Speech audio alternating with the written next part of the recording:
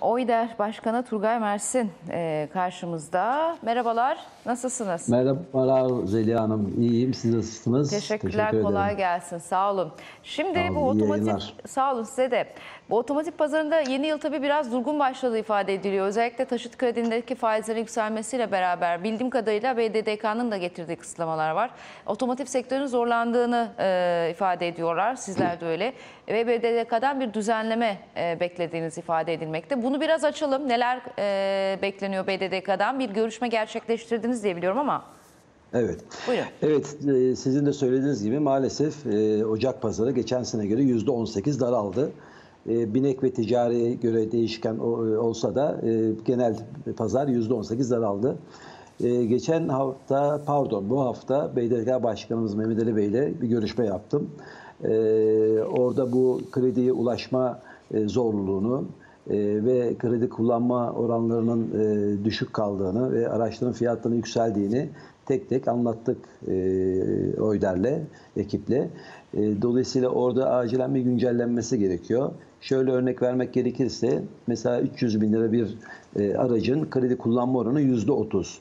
E, yani e, bugün 300 bin altın artık bir araç kalmadı. Dolayısıyla 400-500'lük araçlarda kredi kullanma oranı e, %30 ve altına düşmektense bu aracı sahip olma olasılığı vatandaşımızın kalmıyor.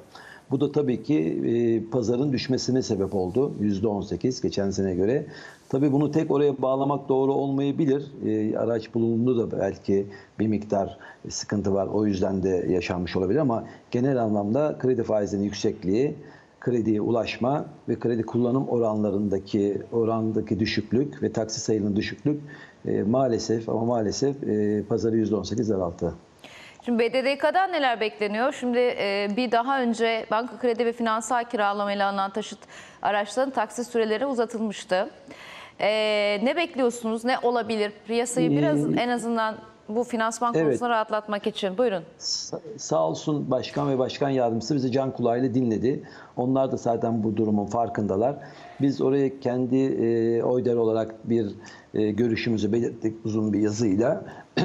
Açıkçası e, 300 bin bareminin 450 bin liraya çıkartılması ve bu aracın da %30 değil %80 krediyle kullanılması ve yine 24 ay olanında 60 aya kadar çıkartılması şeklinde görüşlerimizi belirttik. Tabii bunun alt kırılımları var. Onları tek tek buradan saymak istemiyorum.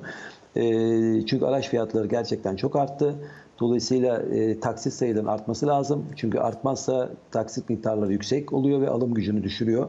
E, yine bunun üzerine fa- faizler de arttı. Dolayısıyla hepsini üzer- üzerine koyduğumuz zaman aracının e, sahiplenme olasılığı vatandaşın kalmıyor. Bugün showroomlarımızda ziyaret eden müşterilerimiz e, tabii istediği modeli aynı anda bulamıyor olsa bile artık araç bulunduğunda çok fazla büyük bir sıkıntı yok. Ama maalesef bu taksitlendirmede e, oranın düşük olması ve yüksek faizin olması tabii ki müşterilerimizi zaman zaman showroom'dan geri çevirmek zorunda kalıyoruz e, açıkçası. E, sağ olsun dediğim gibi başkan başkan yardımcısı bizi can kulağıyla dinledi. E, saygıyla karşıladı. E, zannediyorum önümüzdeki günlerde bir güncelleme gelecek. Umarım bizim istediğimiz gibi gelir. Ama tabii ki orada bir siyasi otorite de var.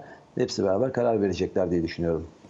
Şimdi e, hem taksit sayısı dediniz burada 24'ten 60 aya çıkarılması hem de krediden %80'lik gürül kullanım e, dediniz. Tabii alt kırılımları da öğreneceğiz e, e, böyle bir düzenleme yapılırsa ama bir taraftan enflasyonla mücadele tarafı var e, işin. E, o yüzden kredi faizlerini çok e, vadeleri uzatmıyorlar diye biliyoruz tabii. O, o noktada nasıl bir tepki verildi onu, onu merak Şimdi, ediyorum. evet, ama bir o tarafta konuyu da büyümeye yönelik çal- e, ilerliyoruz. Buyurun.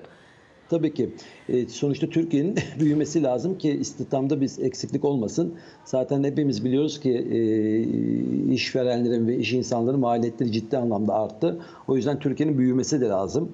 E, elektriğiyle, doğalgazıyla, maaşlarıyla ciddi anlamda arttı. E, şöyle izah etti konuda.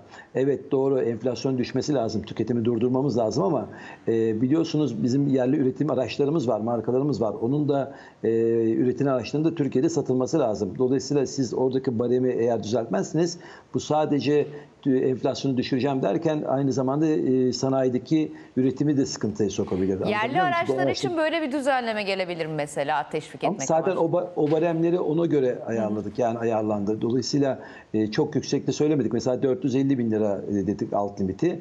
E, bugün zaten yerli araçlarda da alınacak modeller 350, 450, 500 bandında. Dolayısıyla o bandı çok yukarı çıkarmadık.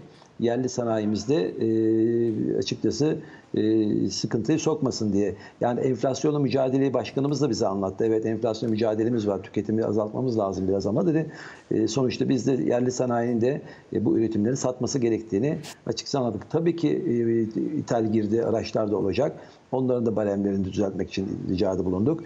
Yani dediğim gibi sonuçta enflasyonu e, düşüreceğiz tabii ki hepimizin e, isteği o ama günün sonunda da e, d- tüketimi azaltacağız derken e, büyümeyi de göz ardı etmememiz lazım. Ciddi anlamda e, iş yerlerinin giderleri arttı açıkçası. E, belki e, siyasi otorite veya büyüklerimiz bunu işte araç bulunduğundan dolayı bu kadar adet e, on- %18 düşürmüş olabilir diye düşünüyor olabilirler. E, yoksa e, krediyle alakası olmamış olabilirler. Şöyle bir örnek vermek istiyorum. Mesela biz geçen sene Türkiye pazarı %4,5 daraldı.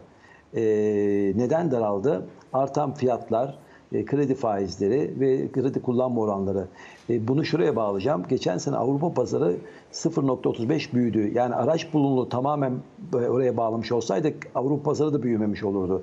Yani Türkiye'nin kendine özgü sorunlarından dolayı Türkiye %5 küçülürken Avrupa yüz- 0.35 büyüdü. Yani tamamen araç bulunulu bağlamak çok doğru olmaz diye düşünüyoruz. Bunu da açıkçası siyasi otorite ve e, başkanlarımıza ilettik. E, yani kredi ulaşmada, kredi faizlerinde e, ve yeni kullanma kredi oranlarında acilen düzeltilmesi gerekiyor. Aksi takdirde geçen senenin çok altında bir pazarla kapatabiliriz diye bir korkumuz ve endişemiz de var açıkçası. Tabii Ocak ayını tam bunu bugün söylemek çok doğru olmaz ama açıkçası %18 daralma az bir daralma değil. Siz zaten bildiğim kadarıyla sektör temsilcileri de %20'lik bir daralıyordu. Bu daralmada e, tabii üretim tarafından soracağım. Satışlarda daralma var ama şimdi e, geçtiğimiz hafta yaşanan enerji kısıntılarında bazı fabrikalarında üretim ara verdiğini gördük. E, dolayısıyla bu üç günlük durum ya da işte bir haftalık hadise elektrikte enerjide yaşanan bu arz sıkıntısı e, nasıl yansıdı üretime? Onu ölçümleyebildiniz mi? Ee, Şöyle tabii ki üretim adetleri şu anda benim elimde mevcut değil. Ee, elektrik dışında tabii yerel markalarımızın bazıları çip krizinden dolayı da bir 10 gün, 15 gün veya bir hafta ara vermek zorunda kaldı. Ama Şubat ayından sonra elektrikte çok büyük sıkıntı olmazsa e, özellikle önümüzdeki haftadan sonra tekrar yerli markalarımız üretimi tam gaz devam etmeye başlayacak. Ee, tabii ki elektrikli bir sıkıntı olmazsa. Yani mutlaka onların etkisi olmuştur pazarın düşmesinde, elektrik kısıntılarının, çip krizinin. Ama az önce söylediğim gibi tamamen oraya bağlamak doğru değil. Az önce geçen sene bizim %5 küçülürken Avrupa'nın %0.35 büyümesi gibi e, bir örnek olabilir. E, Elektrik kısıntıların adetlerin nasıl yansıdığı veya üretimi nasıl yansıdığını önümüzdeki günlerde e, Sanayiciler Derneği belki açıklama yapabilir diye düşünüyorum. Evet, e, önümüzdeki süreçte de evet bir bilgi e, tabii gelecektir illaki oradan. Şimdi e, 2022 yılını bu bahsettiğiniz konuların ışığında nasıl bekliyorsunuz otomotiv satışları açısından? Bir de biliyorsunuz Çin'de kış olimpiyatları var, Cuma başlıyor. E, Omikron dolayısıyla burada da bazı e, sektörlerde kısıtlama beklentisi olacağı ifade edilmişti. En azından Almanya'daki sanayicilerin bir raporunda böyle bir endişeden bahsedildi. İşte çip olsun bunun adına, ham madde olsun. E, bu noktada 2022 en azından ilk 6 ay için değerlendirme yapacak olursanız nasıl bir e, görüntü çıkarıyor bize? Otomotiv piyasası Vallahi- için. ikinci el ve sıfırlarda tabii. Evet. E, ikinci el demişken ikinci el fiyatların da tabii e, 21 Aralık'taki o kur korumadan sonra fiyatlar geri geldi ve ikinci el fiyatlarında şu anda ciddi anlamda %10'la %15 arası modele göre geri gelme oldu. O yüzden e, müşterilerimiz ve vatandaşlarımız e, ikinci elle ilgili sahiplenmeyi daha çok tercih etmeye başladılar. E, yani oradaki fiyat yüksekliği e, kısmen geri geldi. E, 2022 değerlendirecek olursak tabii ki 2022'de bizim Türkiye'miz için ayrı özel şeyler var. Dünya için ayrı özel şeyler var. İşte dünyada araç üretiminde yaşanan e, lojistik sıkıntıları, çip krizleri, işte alüminyum üretimi. E, bunları eğer tam e, doğru şekilde analiz üretimi planlarlarsa biz Türkiye'de bu krediye ulaşma, kredi faizindeki yüksekliği de ve bu oranlardaki durumu da halledebilirsek zannediyorum 800 bin bandını kapatırız diye düşünüyorum. E, tabii ki Çin'deki e, Covid veya diğer pandemiden dolayı üretimde ara verme durumunu açıkta şu anda kestirmek zor. Ama Avrupa'da artık dün akşam haberleri de izledim. Avrupa'da pes etti. İşte Avusturya'da, Danimarka'da e, kapanmalar vardı. E, o da artık önümüzdeki haftadan itibaren o da açmaya karar verdi. İşte aşıya önem verip açmaya karar verdi. Çünkü kapatmak çözüm değil artık. Ve pandemiyle mücadele edip korunaklı bir şekilde üretimimizi e, artırmamız ve devam ettirmemiz lazım. Çünkü hepimiz biliyoruz ki hem sanayiyi hem istihdamı ciddi anlamda etkiliyor. Yani dolayısıyla Avrupa'da da ben artık önümüzdeki günlerde çok büyük kapanmalar olup üretimin sıkıntı yani e, ham madde sıkıntısı dışında üretimdeki kapanmadan dolayı bir sıkıntı olacağını düşünmüyorum. Dediğim gibi Avrupa'da birçok ülkede artık pes etti. Önümüzdeki haftadan itibaren onlar da e, kapattığı şeyleri açmaya başlıyorlar.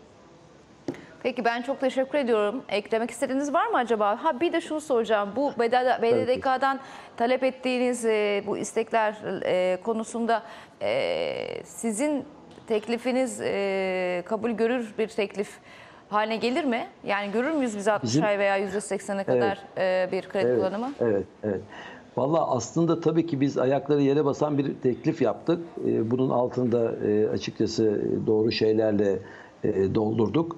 E, Dediğim gibi araç fiyatlarının artması, e, faizlerin yüksek olması, e, ki- hane halkının e, giderlerinin artmasından dolayı düş- taksitlerin yüksek çıkmasından dolayı bunu bu şekilde olması gerektiğini anlattık.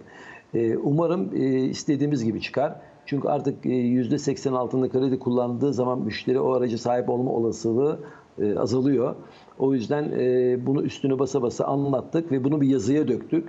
Evet. E, dediğim gibi başkanımız bizi, Başkan Can Kulaylı dinledi. Tabii ki siyasi otoriteler de karar verecek. E, bize göre yapılması lazım. Çok hızlı bir şekilde yapılması lazım. Yoksa bu dramatik düşüş e, devam edebilir. Peki çok teşekkür ediyorum Turgay Bey. Ben teşekkür ediyorum. İyi yayınlar diliyorum. Tekrar teşekkür ediyoruz. Kısa bir ara, aradan sonra devam ediyoruz.